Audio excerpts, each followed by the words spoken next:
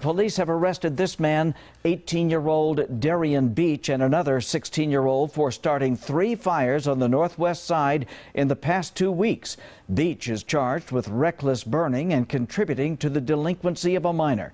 The minor was booked on arson and burning of wildlands.